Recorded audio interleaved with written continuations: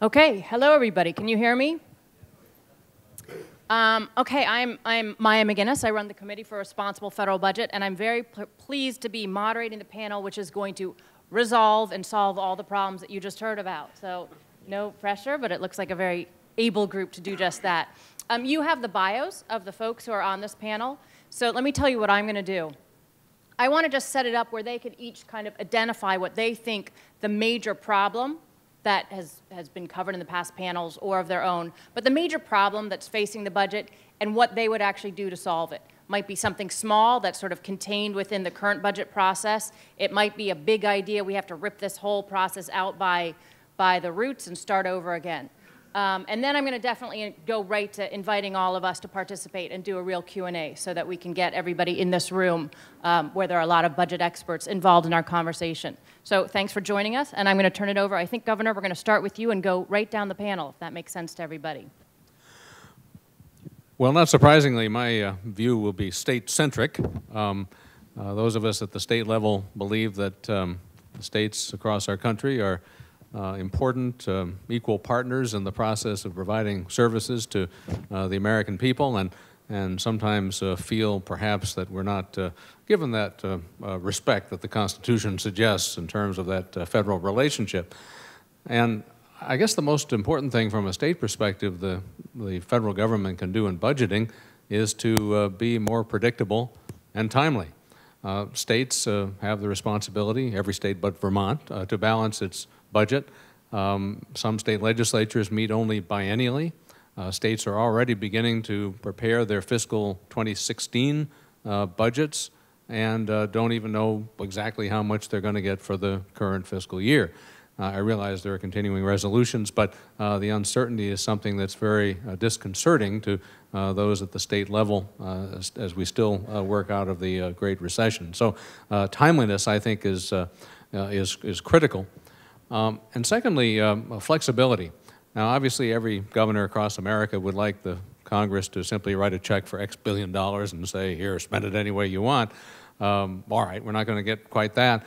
Um, but um, the, um, the mandates, um, even the funded kinds, aren't great, although they're better than unfunded ones.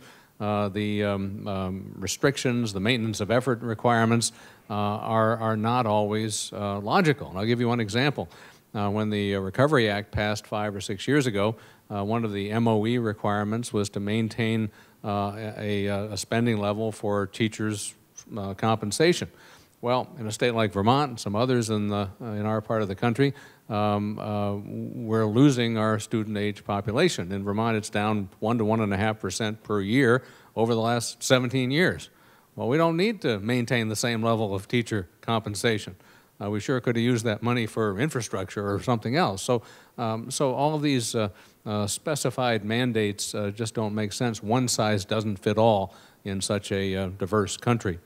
Um, the, the, largest uh, transfer to the states, of course, is Medicaid. Transportation is second, and then it kind of drops down after that.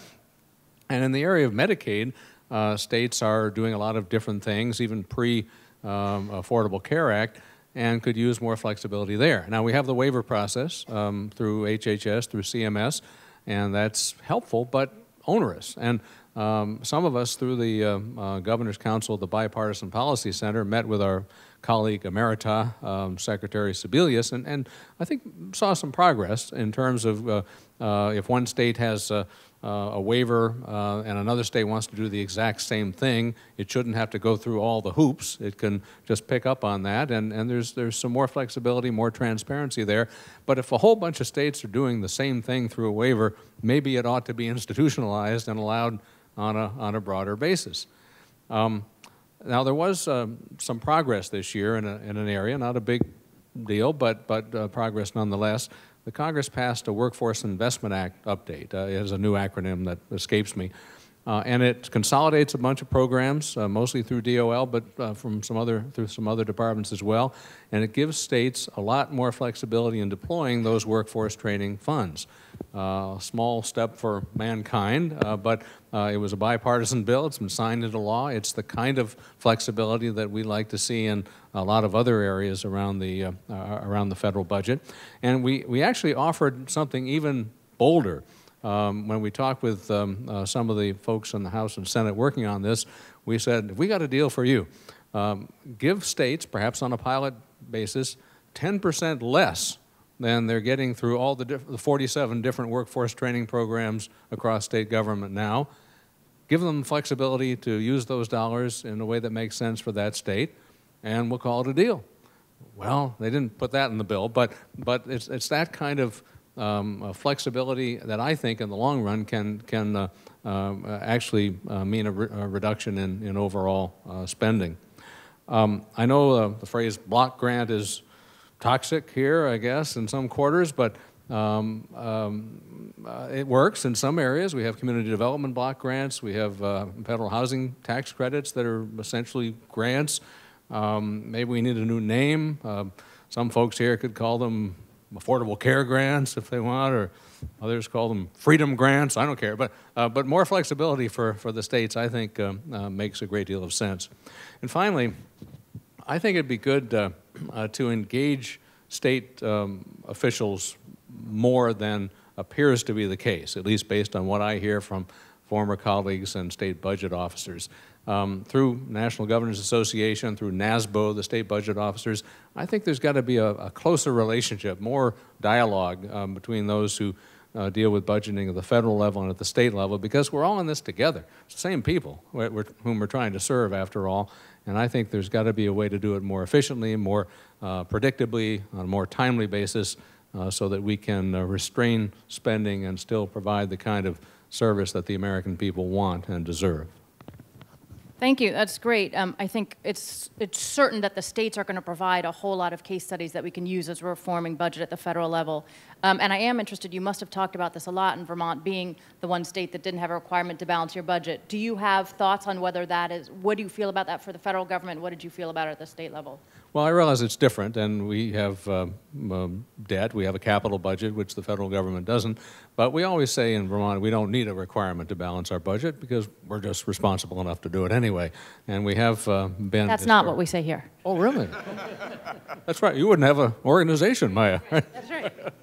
um, so I, I, I think uh, uh, the feds have to do better. And I, I saw a Wall Street Journal piece that you wrote uh, recently about uh, how the deficit isn't the uh, the major issue. It's, it's important, but in the long run, we have to, as the previous panel said, reduce that uh, debt ratio uh, so that it's, um, it's more responsible. As I tell people at home, uh, debt isn't a four-letter word. I, I, mean, it's not bad uh, per se, but it has to be proportional to the capacity of the entity to, to service it and, and to provide the other um, uh, services that, are, that it needs to do. So, so I think it's a matter of proportion. Um, it's a matter of uh, um, discipline, uh, and um, um, I hope that uh, folks in this city will be able to uh, impose more than we've seen in the recent past.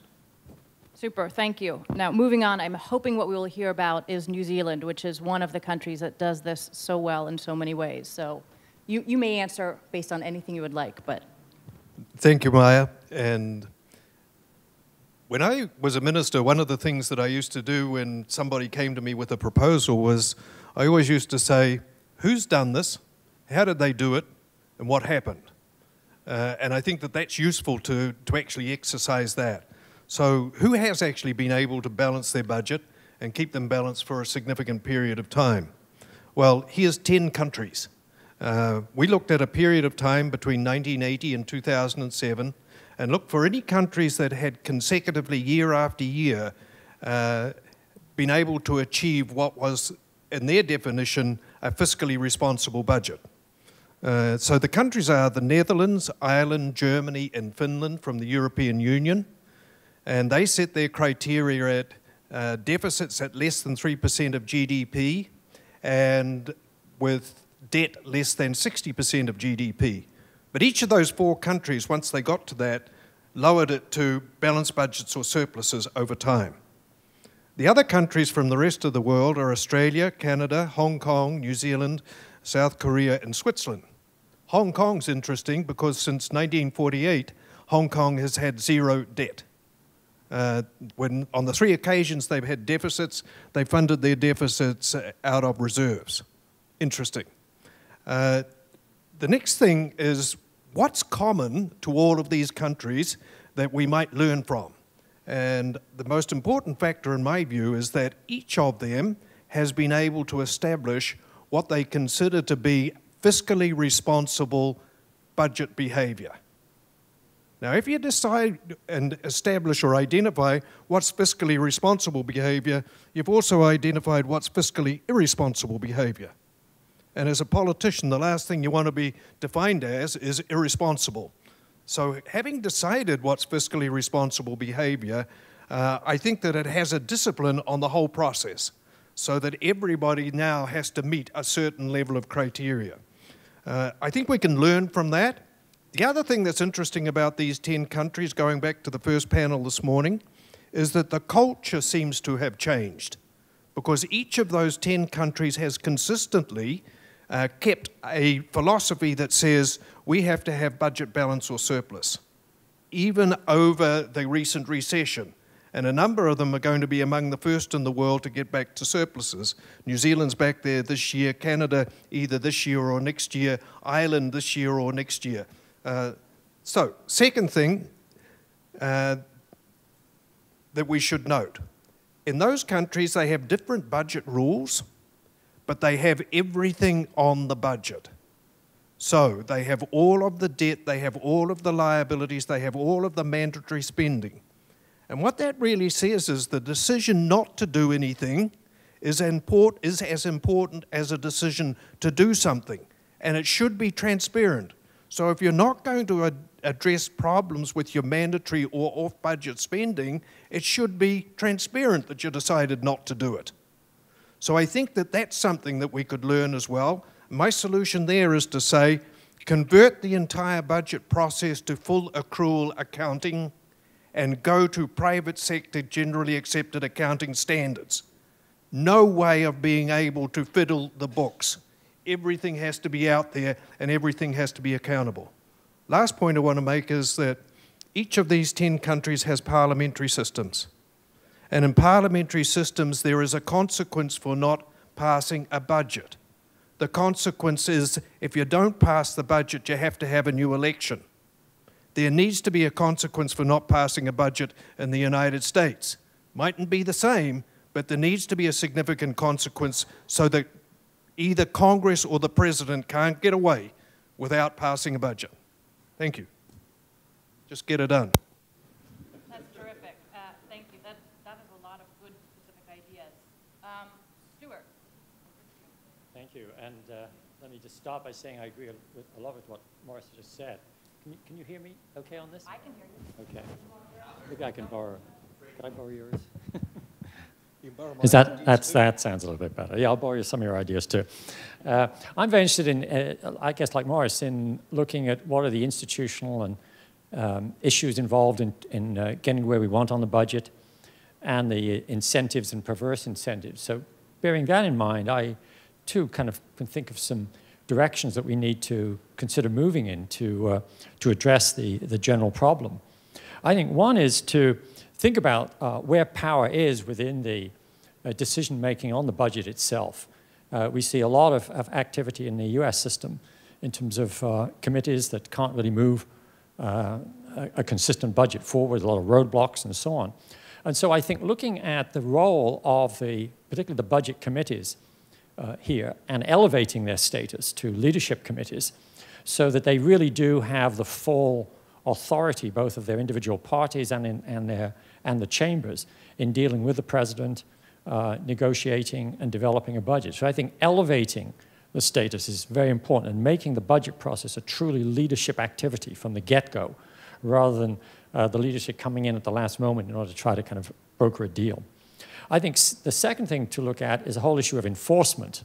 And this gets a little bit back to what uh, Maurice said about uh, um, a parliamentary system.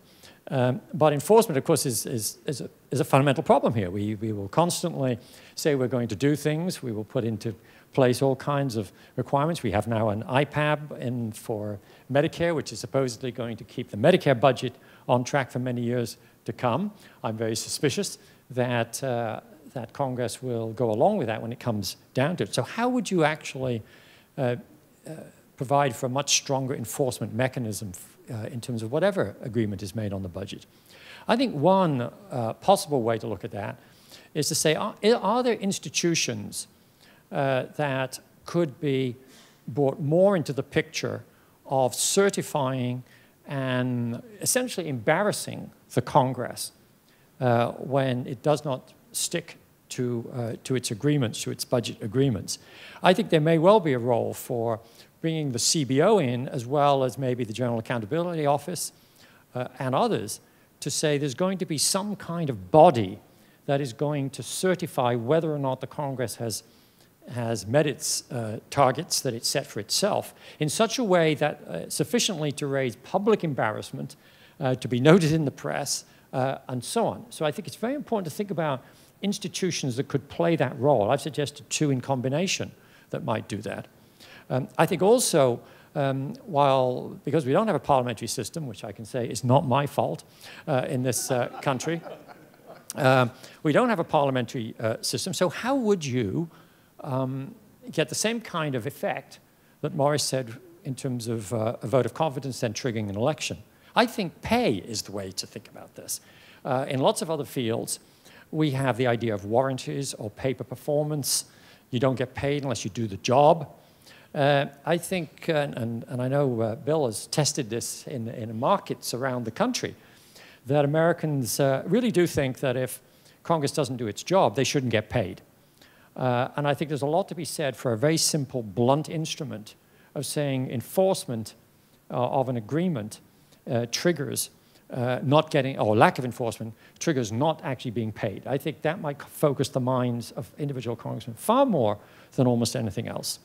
Um, thirdly, I think it's very important to look at uh, altering the, dif the, differentiation between uh, discretionary spending and, in, and entitlement spending. Uh, Maya and I and others have, were involved in a, a little project some, some years ago where we argued that we should move away from entitlement spending um, designation in areas like Medicare, uh, Social Security, Medicaid, uh, and others, and put these programs on a long-term budget, uh, maybe a 30-year budget that is occasionally revisited every five years, but the default is to stay on that budget with the kind of enforcement that I just mentioned uh, a moment ago, getting those mechanisms right. That, that alters the risk in the system the financial risk between certain groups today, particularly the elderly, who are heavily insulated from changes in the economy uh, in terms of the entitlement programs, uh, whereas the young, other groups, uh, are very vulnerable to changes. So part of the idea here is to change the basic risk by altering the entitlement mechanism and moving it much more towards a long-term discretionary uh, structure. I think if you look at other countries that have um, medium-range budgets uh, that actually look, I mean, the UK, if you look at the, how the UK National Health Service is funded, for example, it is not an entitlement program in the sense of this country.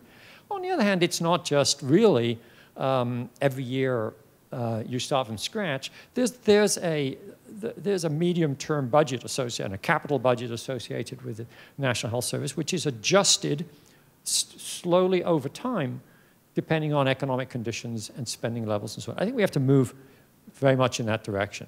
The last uh, uh, sort of institutional change, or at least issue I will raise very quickly, is the role of the CBO itself. Um, I came in just as uh, uh Bob Reischauer said no to the, to the question about whether there should be some change in that relative to OMB and so on. I sort of agree with that. But on the other hand, I think we have to revisit the effect of the CBO on the process itself. I think having, you know, point, supposedly point certain estimates of, um, of spending in multiple years has distorted the way we actually develop policy uh, in this country. Um, that we need to get much more towards CBO, giving a range of, of estimates, and for other factors to get to be in play in terms of determining what policy is, I think. So in other words, I think the estimation role of, of, of the CBO has unfortunately distorted good policy, not through it, the fault of the CBO, but through its role in the process. And then in addition, CBO's uh, inability in some areas to actually um, make, um, uh, have the models and capabilities to make good estimates in certain areas, say the long-term care area would be one, has also distorted this. So I think it's very important to, to go back and revisit the role of the CBO in this whole process.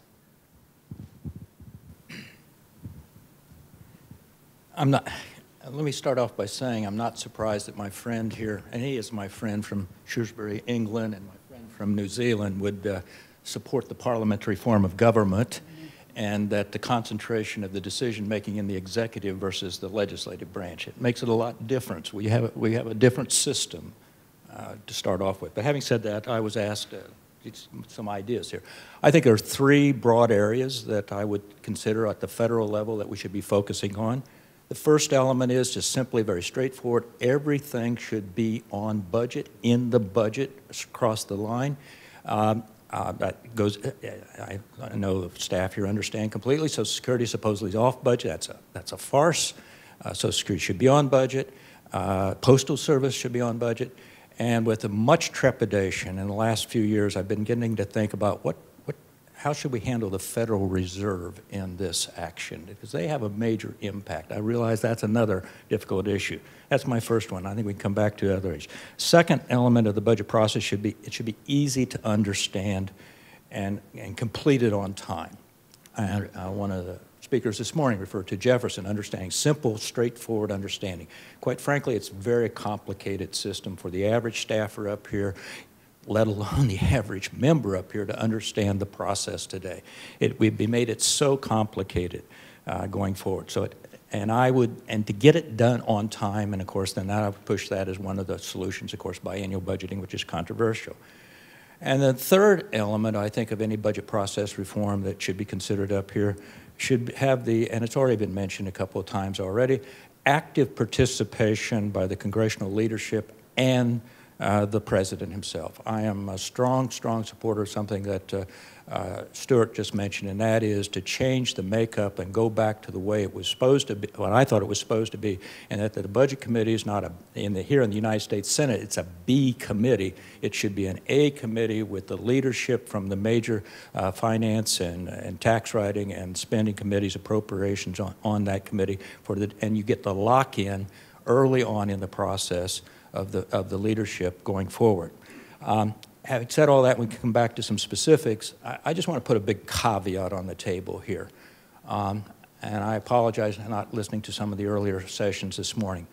But, uh, you know, from my perspective, uh, um, reforming the budget process is not necessarily going to reprise the, uh, uh the past or current failings of the political or legislative process up here. Uh, reforming the budget process is not necessarily going to eliminate the polarization. In fact, some could argue that it's even added to the polar polarization. It's not going to establish congeniality uh, or, or restore civil discourse just by making these kinds of changes. That's something that's much more basic and much more problem, I think, in terms of the process itself. And that is simply that the, the failure to have political will. We know what we have to do. You can reform the process as much as you want, but if the political will is not there to carry forward with that and implement, even with the tools you have available, then I don't think just reforming the budget process is going to, going to address the concerns that we have going forward. Um, and by the way, the process is broken down in some ways, has been very bipartisan. Uh, over the last 40 years, uh, we have failed to get a concurrent resolution conference agreement nine times. Four times uh, has been when uh, I think when Republicans uh, controlled, uh, or, excuse me, four times when Democrats control, controlled, or excuse me, four times when Democrats controlled, one time when Republicans. Most of the time here in the last five years, we haven't got a concurrent resolution on the budget the last five years. And that's when we've had a divided Congress. We haven't been able to get an appropriation bill passed on time for the last five years. Uh, it's, a, it's a bipartisan breakdown of the system up here. And again, that comes back to the political will. This is not your Calvin Coolidge budget, also. Uh, I think he would be astonished by the level of entitlements and mandatories that were basically created after he left office. We can't go back, uh, but controlling those entitlements and mandatories are critical going forward. But you're not going to get that control unless there's back to where, I, where I'm suggesting is you're going to have to have some agreement, some, some compromise. And the word compromise maybe it is not a four-letter word. And it does seem to me that the biggest problem with the budget process is just that political will and the lack of desire to come to a compromise. I, um, I would, can you hear me? Musical mics, okay. Um, so I was reading my memo on how to be a good moderator this morning that we all received, and it said if somebody doesn't answer your question, feel free to go back to them.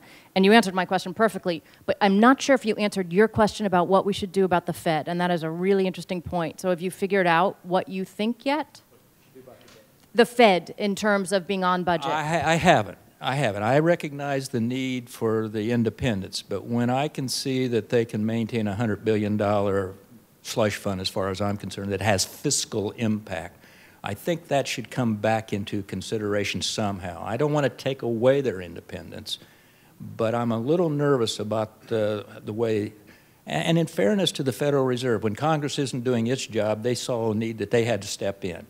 But I'm not, I don't like the idea that the Federal Reserve is setting fiscal policy, and I think that they, they kind of have leaned in that direction the last couple of years. Very interesting. Okay, Baker. Mm-hmm. Uh, I'm Baker Spring, and um, I'm relatively new to this uh, issue area. Um, the story is, is that uh, until the last couple weeks, I was a fellow at the Senate Budget Committee given a research assignment to look at um, budget process reform, congressional budget process reform, essentially across the waterfront. Uh, I feel a little bit better about myself because basically all of the proposals that you've heard today um, are among the 97 that I had unearthed, setting aside ones that are redundant uh, to a large degree. For example, there's many different forms of biennial budgeting.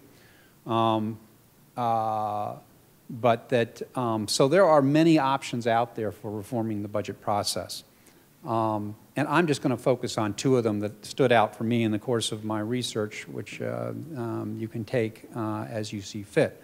I would hasten to add, however, that um, my observations about these two issues don't represent the Budget Committee members or staff or, or anybody but myself.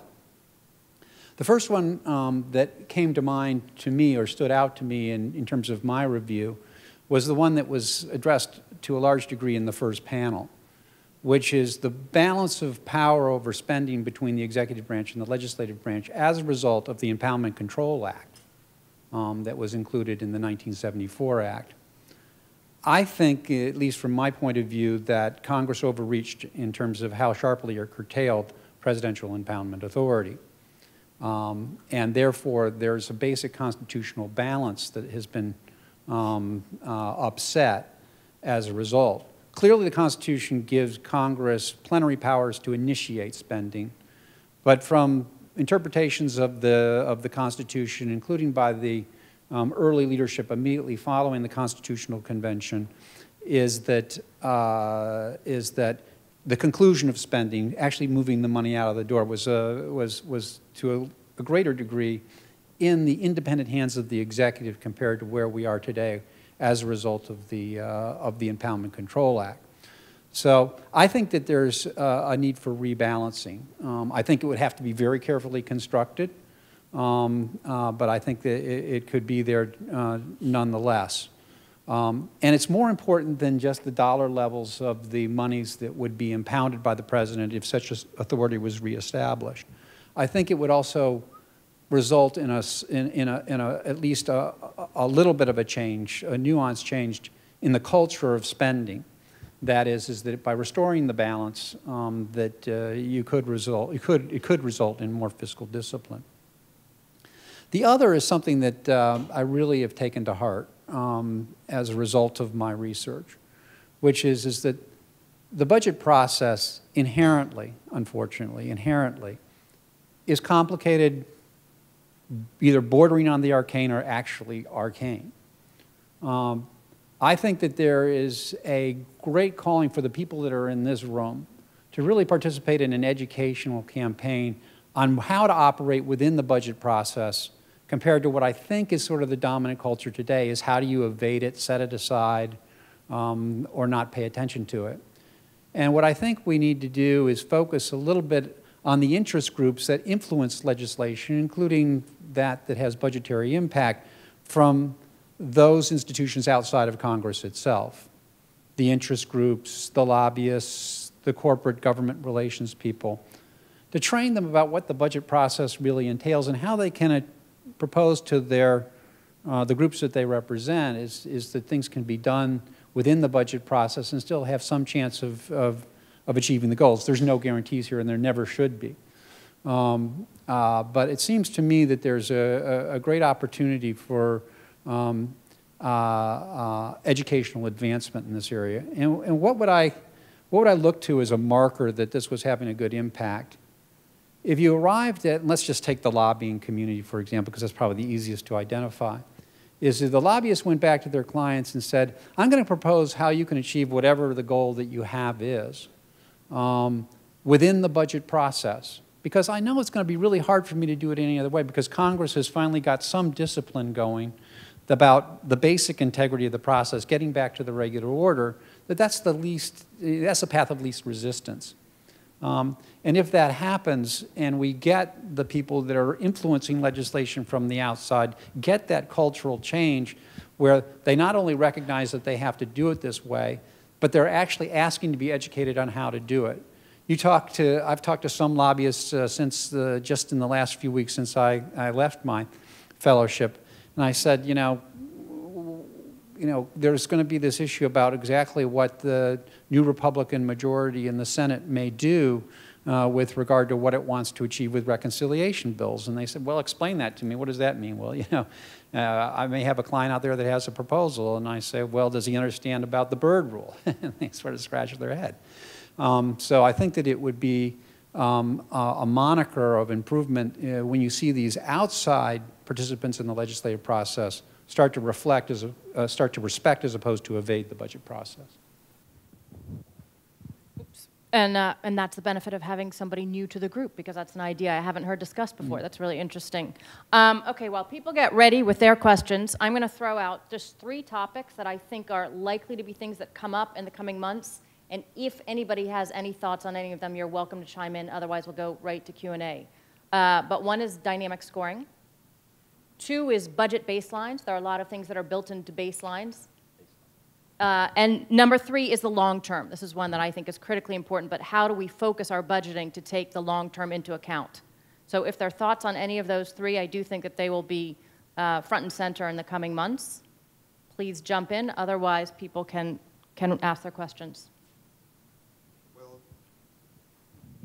You have to change your microphone every time you speak. Right.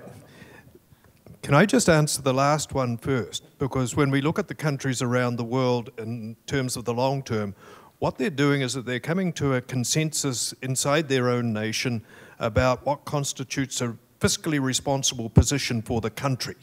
For example, in my country, New Zealand, the government's most recent budget, sets that out as being budget surpluses and debt below 10% of GDP. Uh, others have set that at, as, as the Canadians have, uh, debt under 30% of GDP somewhere about 2025.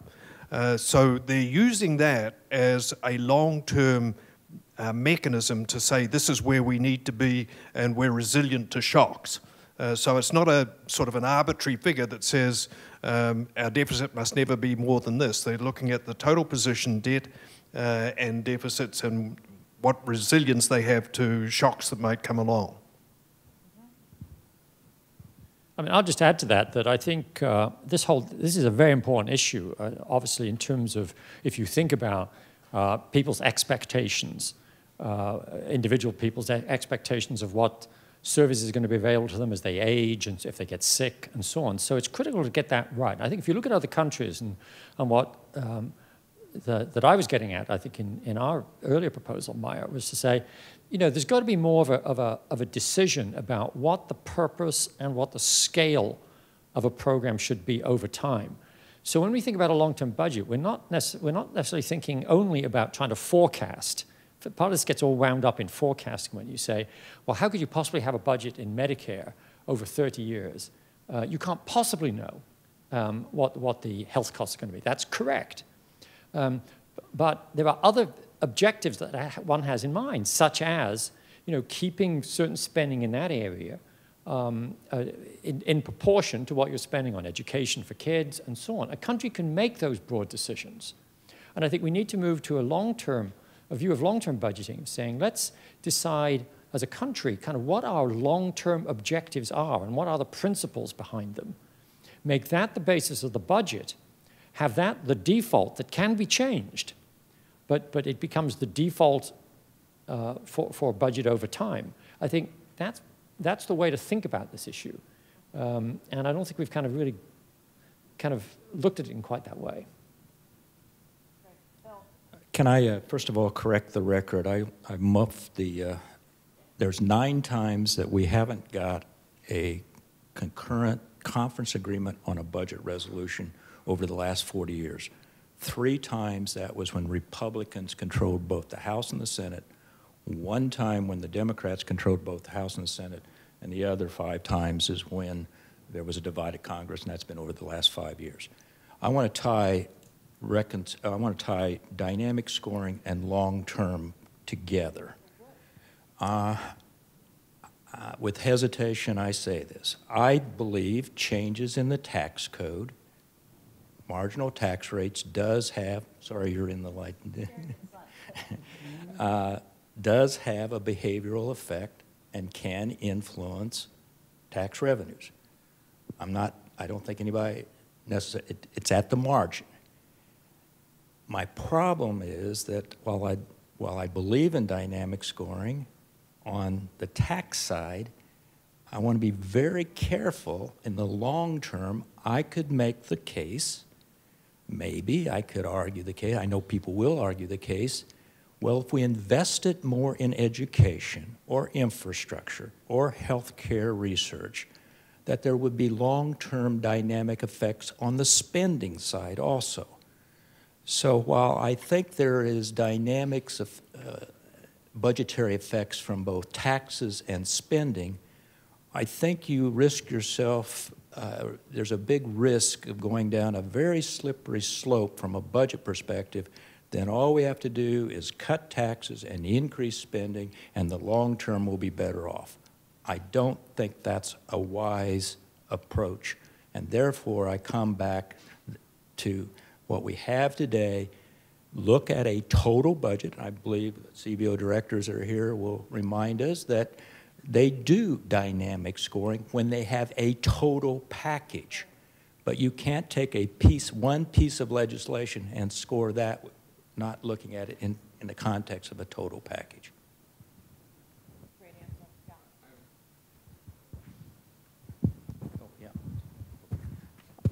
I guess I feel I can criticize politicians since I was one for 35 years. Um, folks in the Congress have to understand that some decisions they make won't bear fruit for a long time. Um, in our little state, we launched a delivery system reform program for health care 11 years ago, and now, uh, after all that time, um, we're seeing a, a decline in the per patient expenditures. We're seeing a decline in certain communities in terms of uh, ER visits and, uh, and uh, hospitalizations, um, but it wasn't immediate. And we have two-year terms, so it's like five or six terms later. And we have to have folks with that longer-term perspective here. Um, uh, Bill hit uh, the nail on the head in, in, several of his earlier comments. One is that uh, Coolidge would be appalled today. He vetoed a, a veterans benefit bill uh, not too long after World War I, everybody told him it would be political suicide, but even then, he didn't want entitlements to grow uh, unsustainably. And of course, he was elected uh, overwhelmingly in 1924.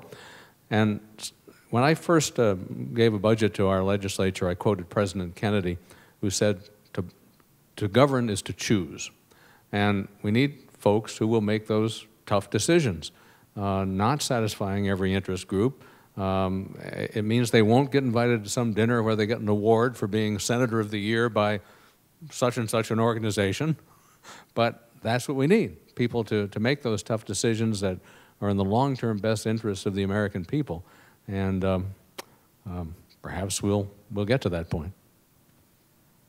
Thank you. Okay, I'm officially blind, so as I open up the, uh, the floor to questions and answers, I can't see any of you anymore. So wait, I see. Okay. Uh, so you can't hear me and I can't see you, but if there are any questions down there, we'd love to invite you. and we will find you. I see someone back back there. See one in the you. back of the room?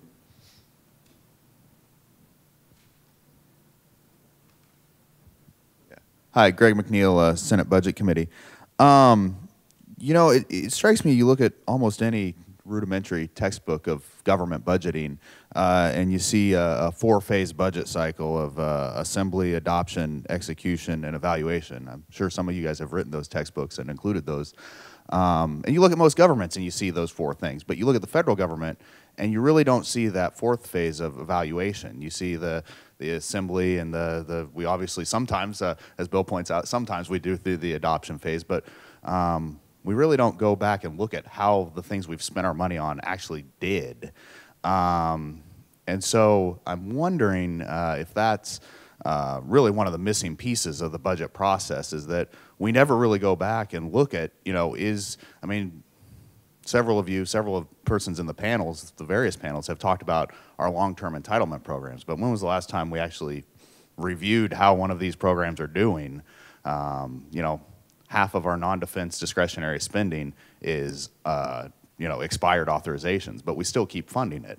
So I'm wondering if if you guys could comment on how maybe a look-back process might help uh, enable a better budgeting process. Good, I open that up to the panel. Thank you.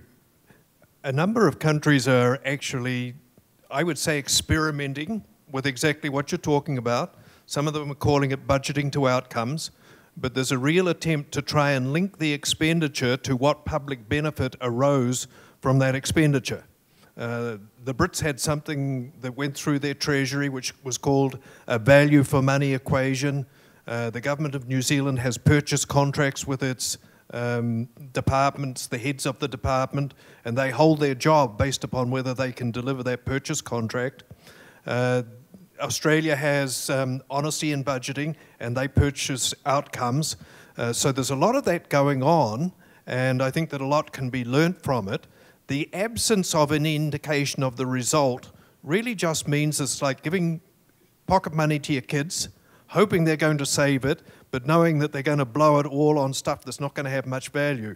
And frankly, you can't act in a responsible manner while that happens. Can I just correct something? Uh, I don't favor parliamentary systems over the republic kind of system that you have in the United States. I got to tell you that governments or countries with parliamentary systems have managed to screw up their economy much more frequently than you ever have. It's just that it's easier to screw it up and it's easier to fix it. So it takes you longer to do it, um, but longer to fix it. So, not advocating any change, just get people who make harder decisions. I think it's a very good question, and I think it goes back to what I was trying to get at in terms of the broader problems you have. And that is that uh, there is something called the authorizing process, the authorizing committees, the oversight, the review, and that process has been weakened by the time that's been spent just getting the appropriation, and quite frankly, something even broader, the time that most members spend raising money to, for their campaigns as opposed to actually legislating and governing up here. And so that's why I'm a, one of those elements that, and most people probably know in the room that I support, I came to it gradually, is uh, biennial budgeting and appropriating to give an opportunity, uh, maybe for the authorizers to do the job. We also have, of course, on the books something called GPRA, which was supposed to uh, do exactly what you said, and uh, uh, my recollection is that created more paperwork and got uh, became thrown into the circular files when those reports came up here, as opposed to the authorizing committees doing the job that they should have been, which was oversight.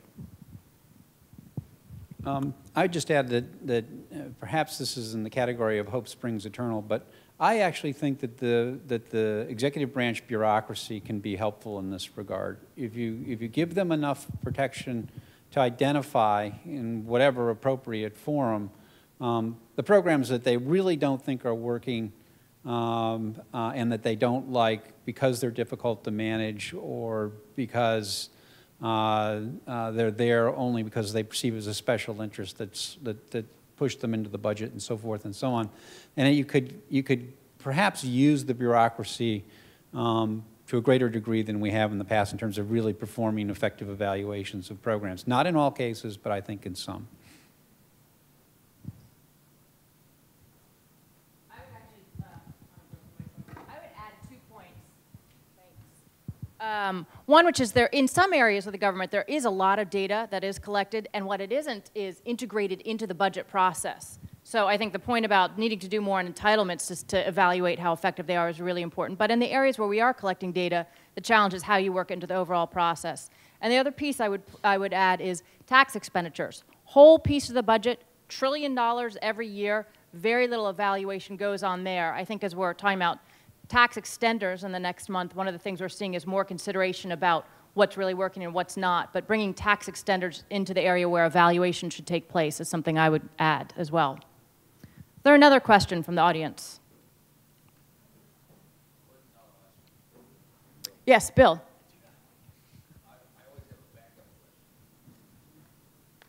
Uh, My, uh, Bill Beach with the Senate Budget Committee.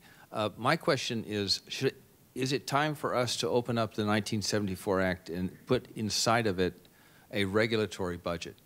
Uh, We are at, uh, some people estimate 1.3 trillion dollars in, in burden, mu- much of it justified, but it's probably some of it not. Should we be budgeting the large regulations, the six or seven each year that come out of the administration?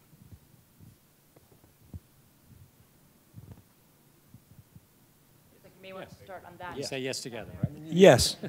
I think, Chris had, uh, you had written a piece on this, and, and I agree completely. I think you, I think there ought to be a way in which when those regulations are issued, when there is a requirement that there be a cost estimate made in the OMB, when it exceeds a certain level, that should be automatically be sent to Congress, and they should have a fast-track authority to overview, the- review those regulations. Yes, it should be part of the budget process. Um, m- my view of a budget is that it's a strategic document and it should be the government's plan of what they're going to do for society and it should certainly incorporate into it considerations about what this budget is going to do to competitiveness and what this budget is going to do to growth in the economy and for those reasons you should certainly include in it the impact of regulations. Uh, can I just make another comment that looking at this research from different places around the world, uh, something that's followed in many places, and that is that they have a Supreme Budget Committee, different names, but after the appropriators have finished their work, the decisions of the appropriators come back to this budget committee, and their job is to make certain that that budget is still in line with the original concept of what would be a responsible budget. So they have the ability to be able to veto the decisions of the appropriators to see that they get the outcome that they want. Now, I know Bill's been playing around with this idea, but make the chairman of each of the appropriation committees a member of that committee and make them go through each other's decisions and say, hey, this is really low value, we should cut that out, we should veto that, we should veto that. With nobody being responsible for the total outcome, you're not going to get a good decision. We did have something called a second budget resolution that was designed to do that, and we dropped it. Um, Just getting back on the question about a regulatory budget, um, uh, uh, I think that that, I'm a yes too. I, I think that that should be done. Um, I did not go there in terms of the research that I did because I thought that the, the relationship between the executive branch and the Congress in that area had to be different. Um, And so I decided to narrow myself to the question of the, of the fiscal elements of the, uh, of the overall budget picture. So I think that that, that represents a different set of solutions, one suggested here, Um, but I think that gives a flavor for why they would be different. One idea that I've heard before that I've always thought was interesting, I think Senator Warner has talked about this, but is a pay-go for regulations. Um, and my recollection is that they might do it in Britain. Um, I don't know, but if, if they do it elsewhere, then that would also be one of those opportunities where we could say who else does it and how has it worked. But sort of the notion of these are not free costs, and let's start tracking them and let's start at least limiting them by not adding new ones without taking out old ones. Because regulations are just like the budget in that once something's entrenched, it has a life that is basically endless. And so some kind of pressure to create trade-offs where you decide if there's something new you want to, which there always will be, um, what is it that you want it to replace? So I'm, I'm intrigued with that idea. It makes a lot of sense. Any other questions? Yes.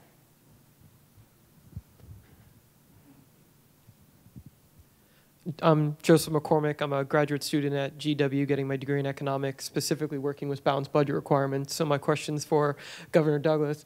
Um, with Vermont, you talked about how you don't have a balanced budget requirement, but specifically the timing is what you mentioned that really helped you to develop the budget for the state.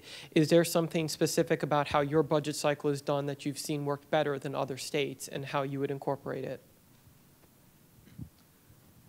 Not really. Um, uh, the Vermont Constitution is the shortest of the 50, I should add. We're laconic, like Coolidge, um, and has been amended uh, the least. So, uh, where other states have put balanced budget uh, requirements in over time, we, our Constitution hasn't changed a whole lot since 1793. Um, but I, I think uh, because our legislature meets every year, it's not as problematic, problematic as it is in those states where it's biennial, and uh, that's where the timeliness of uh, congressional action is so troublesome. Um, so I, I think we uh, do okay, but, uh, but uh, more predictable information from, from Washington will help every state. Okay, um, what I'm going to do is point out that they have indeed solved the problem. Um, and I'm just going to, I was just looking at all the things. Um, I rarely can read my own handwriting, but I think that what we have come up with here is that in order to improve the budget process, the budget needs to be more timely, that it needs to be more flexible. We need to have um, a culture where we know what works, and we emphasize that. The norm, it's just norms. It needs to be, people need to be more responsible. The budget needs to be more transparent. While we don't have to adopt a parliamentary system, we need more accountability and more consequences.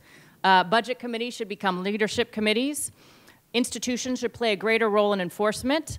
Uh, if they do not pass a budget, there should be consequences, perhaps not paying them. There should be more budgeting for entitlements. CBO should offer a range rather than just point estimates. Everything should be on the budget. The Fed, we still have to figure out. That will be another panel. Uh, we need to simplify the process. There needs to be political will. We have to control entitlements. We need to rebalance the power between the executive and Congress, and there needs to be a process where outside groups feel like the budget process is the way to get things done and they become educated on it, and a few others along the way. So hopefully I have not missed any of the main ones. I thought it was a terrific panel. Um, thank you very much, and I believe we're gonna, you're going to tell us what to do next. Well, how about Thanks, a- everybody. How about a big hand for the panel, especially for Maya, battling the sun, battling the microphones, and still capturing all those wonderful reform proposals.